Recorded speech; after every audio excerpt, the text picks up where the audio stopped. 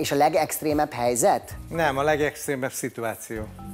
A legextrémebb szituáció? Hát egyszer előfordult, hogy hát, há, szóval nem ketten voltunk, Hanem többen? többen voltunk, és De hányan? hát hárman, tehát egyel többen, mint az szokásos, és a Kira el, elájult, de az semmi, hogy elájult, mert így hirtelen állt fel az ágyból, és ahogy így hirtelen fölállt, így beszédült meg minden, és az ágy mellett volt pont egy ilyen régi kötet a Kámaszutrából, amit és így fejjel beleájult a Kámaszutrába. Tehát az egy ilyen elég És a harmadik férfi volt vagy nő? férfi.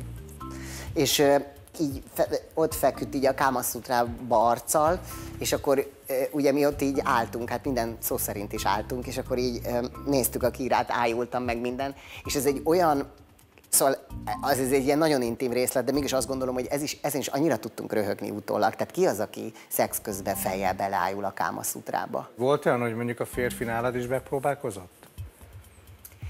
Inkább iszom. Akkor az enyém.